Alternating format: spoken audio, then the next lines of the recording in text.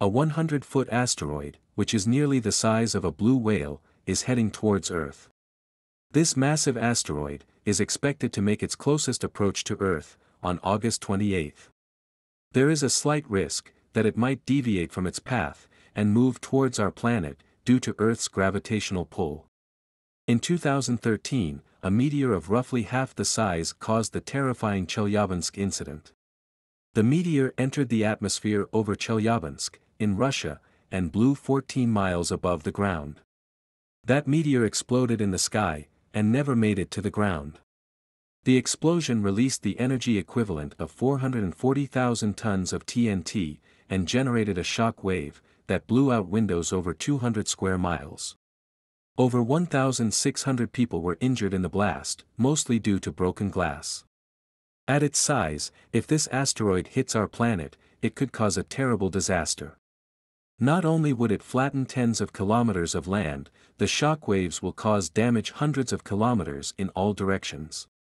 The impact can also cause seismic activities, resulting in tectonic plates shifting, which can cause strong earthquakes and tsunamis all over the region. With such a terrifying scenario at hand, what are the chances that this asteroid will hit Earth? There are some key facts about this asteroid, revealed by NASA's Jet Propulsion Laboratory. The asteroid is named 2022, QP3, where the year describes the first time it was spotted. Due to the fact that this particular space rock wasn't discovered until August 22, not a lot of information is available about it. A close approach of up to 5.5 million kilometers is expected.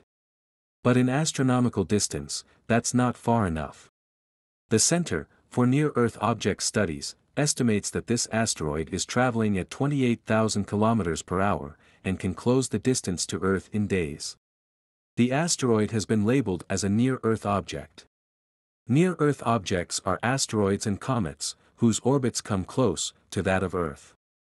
These objects have a realistic chance of hitting Earth and causing some damage. However, there is no reason to worry. Based on NASA's prediction models, it appears that the asteroid will not approach too close to Earth, and will pass safely by it. NASA is carefully monitoring the asteroid, to ensure that there are no last-moment deviations, and if it does happen, we will find out as soon as possible. Though the asteroid is hurling past the Earth with a significant buffer space of 5.5 million kilometers, a slight deviation from its path, which can be caused by many factors, can make it change its course and collide with the planet within seconds.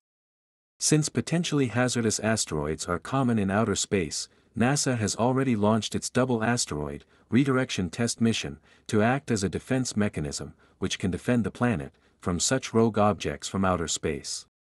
Meanwhile, scientists and researchers have said that there is essentially nothing to worry about, and that the asteroid is very unlikely to make any sort of contact with Earth, which can cause damage to the planet.